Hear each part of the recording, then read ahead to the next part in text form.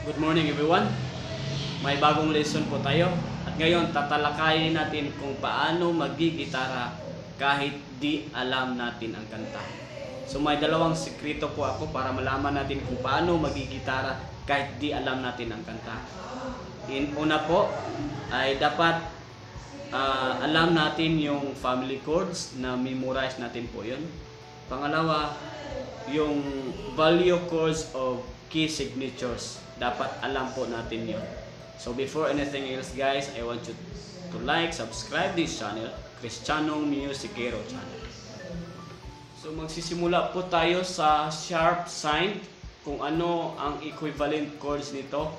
So isang sharp po ay key of G, dalawang sharps po ay key of D, tatlong sharps po ay key of A, apat na sharps po ay key of E, limang sharps po ay key of B or C flat, anim na sharps po ay key of G flat or F sharp, pitong sharps po ay key of D flat or C sharp.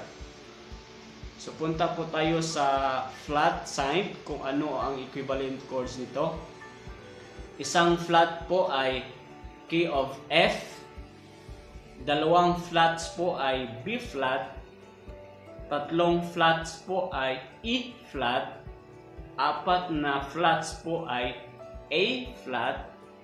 Limang flats po ay D flat or C sharp. Anim na flats po ay G flat or F sharp. Pitong flats po ay B or C flat. So yun po ang equivalent chords ng key signatures.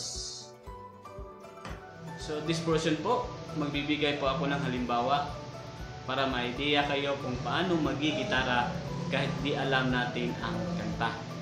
So naibinigay ko na po yung value course of key signatures at saka advice ko po yung family course dapat na memorize nyo yan. So example po ako yung song leader tapos kayo ang instrumentalist. Kukuha po ako ng kanta dito. Ito ay ah, gospel song. Tsaka ibibigay ko sa inyo yung title at saka key signature nito.